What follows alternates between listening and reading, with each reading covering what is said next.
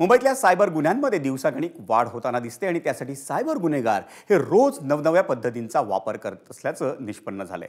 आणि आता तर गुन्हेगारांनी चक्क बॉलिवूड अभिनेते आणि क्रिकेटपटूंची बनावट क्रेडिट कार्ड्स बनवून लाखो रुपयांची फसवणूक केल्याची घटना उघडकीस आली आहे या प्रकरणी पाच आरोपींना अटक करण्यात आली आहे या टोळीनं अनेक बॉलिवूड अभिनेते आणि क्रिकेटपटूंच्या जी एस टी क्रमांकांवरून त्यांच्या पॅन कार्डचा डेटा चोरला आणि मग पुण्यातील फिनटेक स्टार्टअप वनकडून वन कार्डकडून त्यांच्या नावानं जारी केलेली क्रेडिट कार्ड्सही मिळवली. त्या क्रेडिट कार्ड्सनं खरेदी करून या टोळीनं अनेकांची लाखो रुपयांची फसवणूक केली आहे.